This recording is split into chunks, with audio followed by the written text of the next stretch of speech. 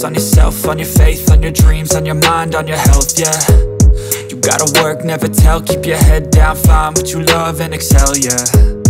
Push and pull and repel any hate, go create what you want, feel compelled, yeah. And once you finally get a taste of the race, you'll never look back once you felt that. Don't let somebody take your time and your worth, just focus on yourself first